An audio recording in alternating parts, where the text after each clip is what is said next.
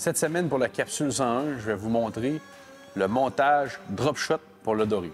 On vous a déjà fait une capsule par le passé où on a expliqué toutes les subtilités de comment on pouvait pêcher au drop shot. Donc, on peut le faire à la dérive, on peut le faire au lancer, on peut le faire stationnaire directement euh, sous le bateau.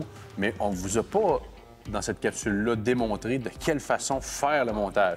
Donc, dans la technique, dans la capsule qui va suivre, on va vous montrer le nœud qu'il faut faire pour attacher l'hameçon et on va vous montrer aussi de quelle façon attacher votre plomb. Pour faire cette technique-là, que je considère comme étant une technique de finesse, mais qui est à la fois très simple, ça vous prend très peu d'équipement. À commencer par le plomb. En deuxièmement, vous avez besoin d'un hameçon et d'un leurre, évidemment. Donc, c'est très, très simple, très peu d'équipement, mais c'est une technique qui est très, très efficace. Mais il y a des petites subtilités, dont le nœud, ici, pour attacher l'hameçon, qu'il faut connaître pour s'assurer que l'hameçon soit dans la bonne position et que le leurre aussi reste dans la bonne position, puis qu'il travaille bien pour avoir la bonne action pour faire, euh, pour provoquer des, attaques. Euh, si votre hameçon est mal positionné, votre leurre ne travaillera pas bien, puis vous n'aurez pas d'attaque sur ce montage-là, qui est un montage considéré étant très productif. C'est ce qui nous a permis d'avoir euh, du succès dans, cette semaine dans notre destination où on était à la Marina Shibuya. Pour le montage du nœud, c'est super simple. On part à la base avec le nœud Palomar que vous pouvez euh, idéalement pratiquer avant, même si vous voulez, de faire le montage. Mais le nœud Palomar, c'est un nœud que tout le monde devrait connaître. Euh, il devrait utiliser euh, déjà. c'est le nœud qu'on doit utiliser d'ailleurs quand on utilise toute ligne tressée ou fusionnée. Il faut faire ce nœud-là. Donc, moi, j'utilise le nœud Palomar pour faire, le, faire tenir mon hameçon ici, où est mon leurre. On va débuter le nœud en tenant l'hameçon lampe vers le haut. D'accord? Nous, on utilise des hameçons de grosseur numéro 2 pour le doré. Et c'est un hameçon Fusion 19 de modèle Wide Gap.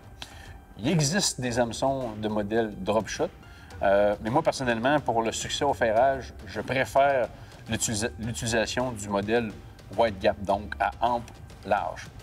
Hameçon numéro 2, numéro 1 pour le doré, ce sont des grosseurs euh, euh, parfaites pour, pour faire ce type de pêche-là.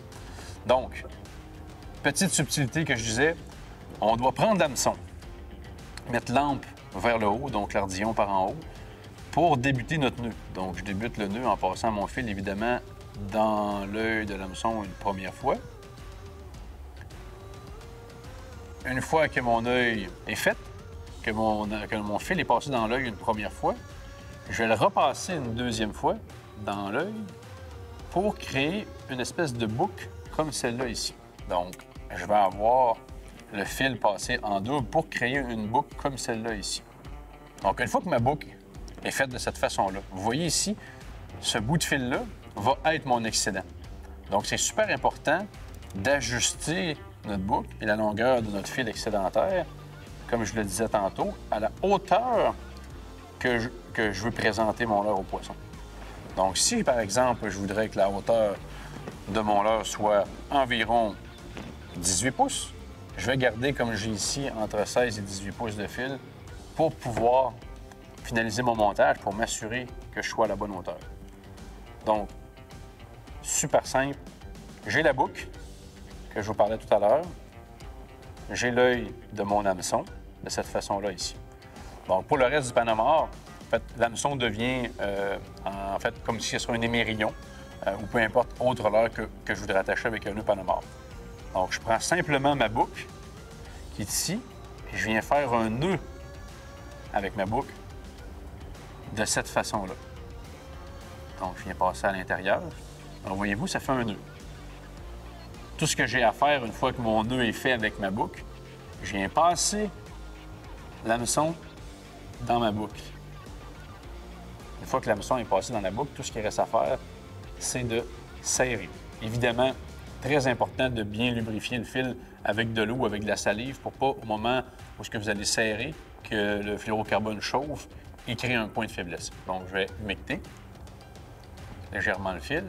Et là, je vais venir serrer mon fil sur le bout de mon hameçon, comme ça ici. Voyez-vous?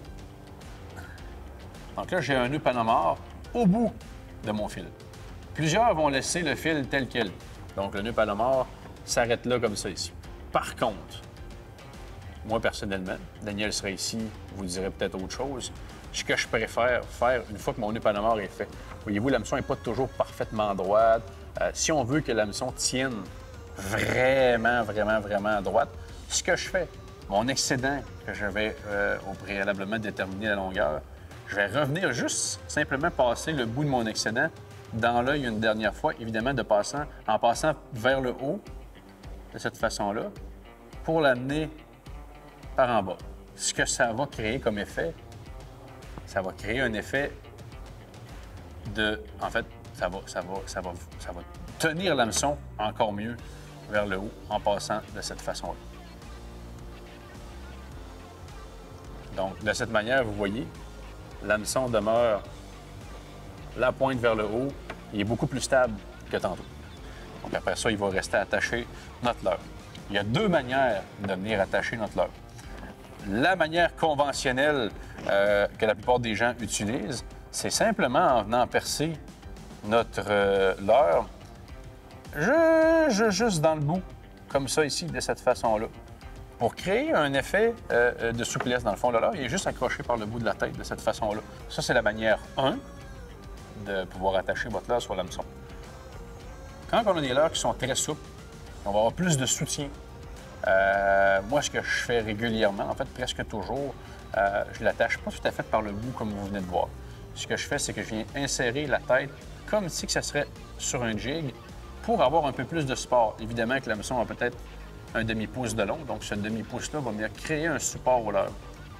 De cette façon-là, votre leurre, voyez-vous, sans avoir besoin du soutien de l'eau, va de façon naturelle se tenir à l'horizontale.